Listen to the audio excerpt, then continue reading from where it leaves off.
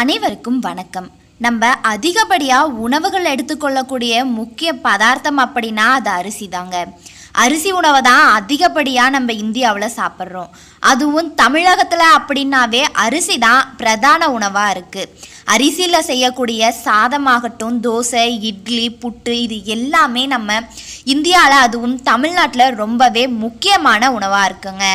நெல் விளைச்சல உற்பத்தியில் சீனாவுக்கு அடுத்தபடியாக நம்ம நாடு தான் இருக்குது அப்படின்னு சொல்கிறாங்க தற்போது பயிரினப்பெருக்கத்துறை மற்றும் உயிரியல் தொழில்நுட்பத்துறை இரண்டுமே இணைந்து புதிய யுக்திகளை கையாண்டு அதிக ஊட்டச்சத்துக்கள் மற்றும் மருத்துவத்தன்மைகளை கொண்ட பாரம்பரிய அரிசி ரகங்களை பயன்படுத்தி புதிய பண்புகளை கொண்ட கலப்பின வகைகளை கண்டுபிடிச்சிருக்காங்க. அப்படிப்பட்ட அந்த அரிசியோட பலனை பற்றியும் அரிசியில் இருக்கக்கூடிய மருத்துவ குணங்களை பற்றியும் தான் இந்த வீடியோவில் இன்றைக்கி நம்ம பார்க்க போகிறோம் இந்த வீடியோ ரொம்பவே பயனுள்ளதாக இருக்கும். ஸோ கடைசி வரைக்கும் ஸ்கிப் பண்ணாமல் பாருங்கள் நீங்கள் இது வரைக்கும் நம்ம அறியாத தகவல் சேனலை சப்ஸ்கிரைப் பண்ணலனா கீழே இருக்கக்கூடிய சப்ஸ்கிரைப் பட்டனை ப்ரெஸ் பண்ணி சப்ஸ்கிரைப் பண்ணிடுங்க.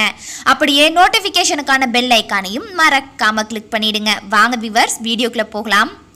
இந்தியாவோட பெரும்பகுதி மக்களோட வாழ்க்கை முறையை வேளாண்மை தான் அடிப்படையாக கொண்டிருக்கு. விவசாய குடும்பம் தான் இந்தியாவோட பெரும்பகுதியான வளர்ச்சிக்கு உதவுதுங்க. இந்தியாவின் வளர்ச்சியும் முதுகுத்தண்டும் விவசாயம் தான் அப்படின்னு சொல்லப்படுது. இந்தியாவில் பெரும்பாலும் கோதுமைக்கு அடுத்தபடியாக அரிசி தான் உணவாக உட்கொள்கிறாங்க நவீன வேளாண்மை காரணமாக அரிசி ரகங்களில் குட்டை ரகங்களும் அதிக கஞ்சித்தன்மை மற்றும் விட்டமின் ஏ போன்ற தன்மைகளும் உட்புகுத்தப்பட்டிருக்கு. இத்தகைய மருத்துவத்தன்மை கொண்ட பழங்கால அரிசி ரகங்களை நடைமுறை வேளாண்மையில் பயிரிடப்படும் அரிசி ரகங்கள் கூட கலப்பினம் செஞ்சு அதிக மருத்துவத்தன்மையும் உயிரிச்சத்துகளும் அதிகப்படுத்துகிறாங்க இத்துடன் மருத்துவத்தன்மையும் தக்க வைக்கப்படுதுங்க. இந்த வகையிலான பல்வேறு விதமான நோய்களுக்கு அரிசியை பயன்படுத்தலாம் அப்படின்னு சொல்கிறாங்க அரிசியில் செய்யப்பட்ட உணவை சாப்பிட்றதால நம்மளுக்கு என்னென்ன பலன் கிடைக்குது அப்படின்றத பார்க்கலாங்க.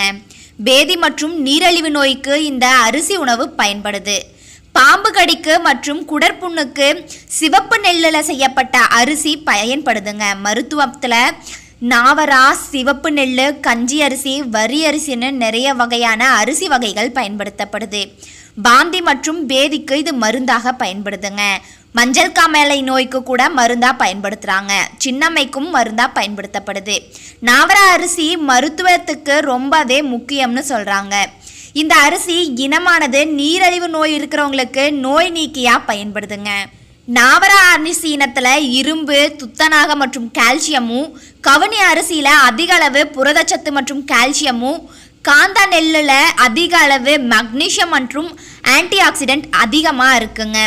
இது வீரதங்கன் நெல்லில் அதிக அளவில் இரும்பு துத்தநாகம் அதிக அளவில் இருக்குன்னு சொல்கிறாங்க மூங்கில் மரத்துல இருந்து கூட நம்ம அரிசியை எடுக்கிறாங்க. பல நோய்களுக்கு அருமருந்து அப்படின்னு இந்த மூங்கில் அரிசி பார்க்கப்படுதுங்க. இதை தவிர திணை சாமை குதிரவாளி ஆகிய அரிசி வகைகளில் இருக்கக்கூடிய விசேஷ மருத்துவ குணமும் இது மருத்துவத்தில் பயன்படுறதுக்கு உபயோகப்படுது. மூங்கில் பூப்பதும் அதில் அரிசி விளையிறதும் ஒரு அரிய நிகழ்வு அப்படின்னு சொல்கிறாங்க மூங்கில் நெல் அப்படின்னு ஒன்று இருக்குங்க. சர்க்கரை நோயால் கட்டான உடலை இழந்து சக்கையா போனவர்களுக்கு மறுபடியும் சீரான உடலமைப்பை பெற செய்யும் உன்னதமான அரிசி தான் இந்த மூங்கில் அரிசி. மூங்கில் அரிசியில் வெண்பொங்கல் போலவும் பாயசம் போலவும் செஞ்சு சாப்பிடலாம்னு சொல்கிறாங்க மூங்கில் அரிசி தினை அரிசி சாளம் அரிசி ஆகியவை வகைக்கு நூறு கிராம் எடுத்து சேர்த்து அரைத்து தூள் செய்துக்கணுமா இதில் இரண்டு தேய்க்கரடி எடுத்து கஞ்சி போல செஞ்சு சாப்பிட்டுட்டு வந்தோம் அப்படின்னா தேகம் எல்லாம் வலுவடையுமாங்க. வஜ்ரம் போல இருகும் அப்படின்னு சொல்கிறாங்க சர்க்கரை நோய் கட்டுப்படுத்துறதுக்கு இந்த மூங்கில் அரிசி உதவி புரியுது. மூட்டு வலியையும் குணமாக்குமா. இன்று பலருக்கு பத்து படிகள் ஏறினாலே மூச்சு வாங்க ஆரம்பிச்சிடுங்க. முழங்கால் மூட்டுகள் எல்லாம் வலிக்க ஆரம்பிக்கும். இது இல்லாமல் இருக்கணும் அப்படின்னா மூங்கில் அரிசி சாப்பிட்றது நல்லது அப்படின்னு சொல்கிறாங்க ஆனால் நம்ம முன்னோர்கள் பல மைல் தூரங்கள் நடைப்பகனமாகவே கடந்திருக்காங்க. உரமேறி அந்த உடல் வாக்கிற்கு அடிப்படை காரணம் சத்து மிக்க உணவு பழக்கங்கள் தான் சொல்லப்படுது. மூங்கில் அரிசி நொய்யரிசி சுக்கு ஆகியவற்றை தனித்தனியா ஒன்றிரண்டா பொடித்து எடுக்கவுமா? பொடித்த சுக்குடன் சீரகம் ஓமம் சேர்த்து வெறும் வானலியில் சிவக்க வறுக்க வேணும்னு சொல்கிறாங்க அதில் நல்லெண்ணெய் ஊற்றி பொடியாக அரைத்து பூண்டை போட்டு வதக்கணுமாங்க. நன்கு வதங்கியதும் தேவையான அளவு தண்ணீர் ஊற்றி கொதிக்க விடணுமா. முதல் கொதி வந்ததுமே மூங்கில் அரிசியை அதில் கொட்டணும்னு சொல்கிறாங்க அடுத்த கொதி வந்ததும் அரிசியையும் நொய்யரிசியையும் அதில் போடணுமா. இது போட்டு கொதிக்க வைக்கணும்னு சொல்கிறாங்க அரிசி நல்லா கொதிச்சு கஞ்சி பதம் வந்ததும் தேவையான அளவு உப்பு சேர்த்து இறக்கிடணுமா. இதை சாப்பிட்றதால மூட்டு வலி மூட்டில் நீர் கோர்த்திருந்தல் முதுகெலும்பு வலி இடுப்பு வலி கழுத்து வலி உடல் பலவீனம் போன்ற பிரச்சனைகளுக்கு நிவாரணம் அளிக்கக்கூடியதாக இருக்காங்க. உடலில் இருக்கக்கூடிய சுண்ணாம்பு சத்து குறைபாட்டை போக்குறதுக்கு இந்த மூங்கில் அரிசி உதவி புரியுதுன்னு சொல்கிறாங்க மூங்கில் அரிசி நார் சத்து மிக்கதுங்க. உடல் வலிமை பெறதுக்கு அரிசி உபயோகப்படுது. சர்க்கரையோட அளவை குறைக்கிறதுக்கும் உதவிகரமாக இருக்கு. எலும்ப உறுதியாக்கும் தன்மை இருக்கு. நரம்பு தளர்ச்சியை சீர் செய்யும் இந்த மூங்கில் அரிசின்னு சொல்றாங்க. திணை சாமை இது கூட அரிசி வகையை தாங்க சேர்ந்தது. உடலிற்கு வலுவ தரக்கூடியது திணை அரிசின்னு சொல்றாங்க. சிறுநீரை அதிகம் வெளியேற்றி தசைகளை இருகச் செய்யும் தன்மை திணைக்கு இருக்காங்க. கொழுப்பு உழைச்சதை சேர விடாது அப்படின்னு சொல்றாங்க. நல்ல பசிய தூண்டக்கூடிய தன்மையும் திணையரசிக்கு இருக்கு. இதில் நாட்பட்ட வீக்கம் காய்ச்சல் கபம் வாத நோய் போன்றவை சரி செய்கிறதுக்கான சக்திகள் அதிகமாக இருக்கு அப்படின்னு சொல்கிறாங்க இதை சாதமாக்கியும் சாப்பிட்லாமா? இல்லை கஞ்சி வச்சும் சாப்பிட்லான்னு சொல்கிறாங்க சாப்பிட்டோம் அப்படின்னா வீக்கம் நீர்த்தேக்கம் வடியும் அப்படின்னு சொல்கிறாங்க சாமை அப்படின்றது எளிய உணவுப் பொருள் அப்படின்னு சொல்கிறாங்க இனிப்பும் குளிர்ச்சியும் தரக்கூடியது இந்த சாமையாங்க. எளிதில் செரிமானமாகும் தன்மை சாமை அரிசிக்கு இருக்கு. வயிற்றுப்புண்ணை ஆற்றும் தன்மையும் சாமைக்கு இருக்கு. உள்ளெரிச்சல் காய்ச்சல் நிற்குமா? உடல் வளர்ச்சிக்கும் புஷ்டிக்கும் ஏற்றது அப்படின்னு சொல்கிறாங்க இதோட கஞ்சி பேதியை நிறுத்தும் தன்மை கொண்டிருக்கு. அரிசி அப்படின்னாலே நம்ம பெரும்பாலும் பொன்னி அரிசி இந்த மாதிரி வகைகளை தான் கேள்விப்பட்டிருக்கோம். ஆனால் குதிரைவாளி அப்படின்றதும் அரிசி வகையை சார்ந்தது தான் குதிரைவாளியில் நார்ச்சத்து மிகுதியாக காணப்படுறதால உடலில் மலச்சிக்கலை தடுக்கிறதுக்கு இது அதிக அளவில் உதவி புரியுதுங்க. கொழுப்பு அளவை குறைக்கிறதுக்கும் செரித்தலின் போது ரத்தத்துல இருந்து குளுக்கோஸ் அளவை மெதுவாக வெளியிடுறதுக்கும் இந்த குதிரைவாலி உபயோகப்படுது.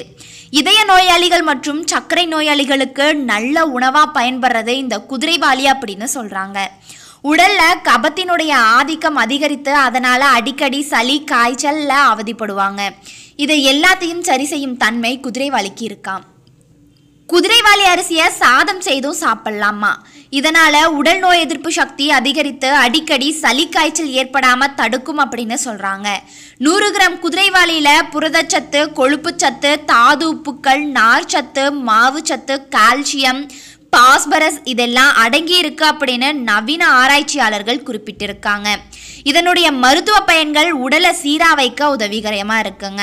சர்க்கரையோட அளவை குறைக்க வல்லதா அப்படின்னு சொல்கிறாங்க இது ஆன்டி ஆக்சிடெண்ட்டாக செயல்படுதுங்க. இரும்பு சத்து ரத்த சோகை வராமல் தடுக்கவும் அதில் இருக்கக்கூடிய நார்ச்சத்து மலச்சிக்கலை தடுத்து செரிமானத்திற்கும் உதவிகரமாக இருக்குது அப்படின்னு சொல்லப்படுது. இது மட்டும் இல்லை அரிசியை பெரும்பாலும் எல்லோரும் சாப்பிடக்கூடிய ஒரு உணவுப் பொருளாக தான் இருக்குது அரிசியில் கஞ்சியாகவோ இல்லை சாதமாகவோ இல்லை அப்படின்னா அதை அரைச்சி மாவாக செஞ்சு புட்டு செய்வோம். இல்லை அப்படின்னா அதில் தோசை இட்லி சுட்டு சாப்பிடுவாங்க. அரிசியில் கார்போஹைட்ரேட் குளுக்கோஸ் அதிக அளவில் காணப்படுதுங்க. சர்க்கரை நோயாளிகள் வடித்த கஞ்சி வச்ச சாதத்தை சாப்பிட்றது நல்லது அப்படின்னு சொல்லப்படுது. குக்கரில் வச்ச சாதம் சாப்பிட்றதால சர்க்கரை நோயாளிகளுக்கு குளுக்கோஸோட அளவு அதிகமாகுதுங்க. இதனால் சர்க்கரையோட அளவு அதிகமாக வாய்ப்பு இருக்குது அப்படின்னு சொல்கிறாங்க அதனால் பெரும்பாலும் சாதத்தை வடிச்சிட்டு அப்புறம் சாப்பிடணும்னு சொல்லப்படுது. குக்கர் சாதம் உடம்புக்கு ஏற்றது கிடையாதுங்க. இதனால தான் குக்கரில் வச்ச சாதத்தை விட சாதங்களை மண்பாண்டங்கள்லையோ இல்லை அப்படின்னா அலுமினிய பாத்திரங்கள்லையோ வச்சு வடிச்சிட்டு சாப்பிடணும்னு மருத்துவர்கள் சொல்கிறாங்க சர்க்கரை நோயாளிகள் அதிக அளவில் கோதுமையை சாப்பிட்றது நல்லதுங்க. கோதுமை அப்படின்றது ஃபைபர் அதில் இருக்கக்கூடிய ஃபைபரானது சர்க்கரையை கட்டுப்படுத்தும் தன்மையை கொண்டிருக்கு. அது மட்டும் இல்லை நம்ம தமிழ்நாட்டில் பெரும்பகுதியில் மக்கள் எல்லோரும் கேழ்வரகை அதிகமாக பயன்படுத்துவாங்க. கேழ்வரகு சாப்பிட்றதால உடல் குளிர்ச்சி அடையுங்க. கேழ்வரகுல இருந்து செய்யக்கூடிய களி அப்படின்றது உடலுக்கு ரொம்பவே வலுவை தரக்கூடிய ஒரு உணவுப் பொருளாக பார்க்கப்படுது. அரிசி உணவை தவிர்க்கிறவங்க இந்த கேழ்வரகையும் கோதுமையையும் உணவாக எடுத்துக்கொள்ளலாம் அப்படின்னு சொல்கிறாங்க பெரும்பாலும் சர்க்கரை நோய் இருக்கிறவங்களுக்கு தான் இந்த ரெண்டு வகையான உணவுப் பொருட்களும் ரொம்பவே பயனுள்ளதாக இருக்குங்க. இவங்க அரிசியை தவிர்க்கிறது நல்லது அப்படின்னு சொல்லப்படுது. பொதுவாக நமக்கு அரிசி அப்படின்னாலே எல்லோருக்கும் தெரிஞ்சது இந்த பொன்னி சம்பா சீரக சம்பா இப்படின்றது மட்டும்தான். ஆனால் இதை தவிர திணை சாமை குதிரைவாளி இப்படின்னு ஏகப்பட்ட வெரைட்டிஸ் இருக்குங்க. அது எல்லாமே நம்ம உடல் நலத்துக்கு உதவிகரமாக இருக்குது அரிதாக கிடைக்கக்கூடியது தான் இந்த மூங்கில் அரிசி. இதுவும் உடலுக்கு பயனளிக்கக்கூடியது. அரிசியை பற்றின இந்த வீடியோ பயனுள்ளதாக இருந்திருக்கும் நம்புகிறேன் இந்த வீடியோ உங்களுக்கு பிடிச்சிருந்தா லைக் பண்ணுங்கள் ஷேர் பண்ணுங்கள் கமெண்ட் பண்ணுங்கள் நீங்கள் இது வரைக்கும் நம்ம அறியாத தகவல் சேனலை சப்ஸ்கிரைப் பண்ணலனா கீழே இருக்கக்கூடிய சப்ஸ்கிரைப் பட்டனை ப்ரெஸ் பண்ணி சப்ஸ்கிரைப் பண்ணிடுங்க. நன்றி நண்பர்களே.